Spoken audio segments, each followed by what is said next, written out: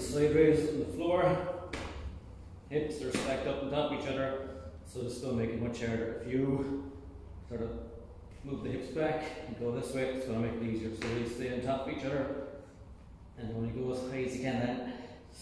Big squeeze on here, keep everything lined up. Because when you start going like this, you're starting to engage here, and you want to just work on those